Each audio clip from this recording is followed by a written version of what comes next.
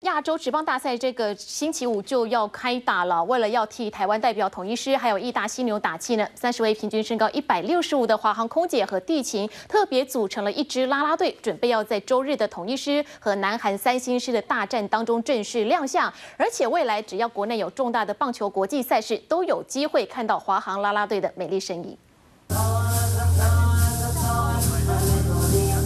举着彩球在动感的音乐下热舞，他们不是专业的啦啦队，而是中华航空的空服员与地勤人员。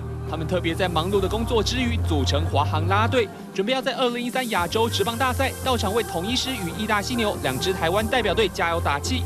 三十位啦啦队员在赛前密集训练，希望在比赛现场呈现出最完美的一面。因为这次是就是现场来的，所以比较紧张，嗯，而且是就在。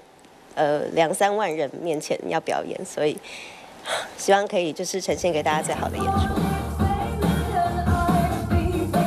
华航啦啦队这一次换下一板一眼的制服，改穿啦啦队服，除了要展现青春活力，更要给观众气质与专业的感觉。因为我们毕竟都是专业的空服员跟地勤人员，所以我们希望呈现的是一个。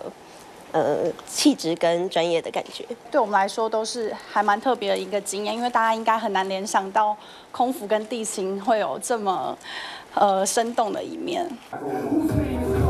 华航啦啦队将于十一月十七号统一师对战南韩三星师的比赛正式亮相，要给球迷全新的视觉感受。中华挺中华，中华航空支持中华英雄。耶！雨电 TV 徐增成、孙传贤、杨玉新台北报道。